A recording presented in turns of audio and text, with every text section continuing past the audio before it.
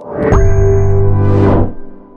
विधानसभा चुनाव के नज़दीक आते ही पुलिस ने पूरे ज़िले की सीमा सील कर दी है। ज़िले भर में 32 नाकों पर दिन रात आने जाने वाले लोगों पर नज़र रखी जा रही है। चुनाव के दौरान लोगों को प्रलोभन देने के लिए रुपए, शराब व अन्य वस्तु बांटने वालों पर सख्त कार्रवाई की जा रही है। मैतपुर में सुरक्षा बलों ने गुरुवार को दो युवकों से 16 लाख रुपए जब्त किए हैं। अब तक करीब चार करोड़ रुपए की नकदी व सोने चांदी के जेवरात जब्त किए जा चुके हैं। मतदान की तारीख नज़दीक आते ही ज़िले में पुलिस सतर्क हो गई है।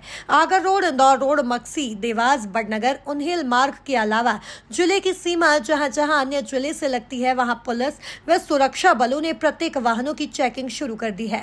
ज़िले के ऐसे बत्तीस स्थानों को चिन्हित किया गया है, जहाँ से अन्य जिलों से उज्जैन ज़िले में प्रवेश करते हैं। पॉइंट पर दिन रात पुलिस बल तैनात किया गया है।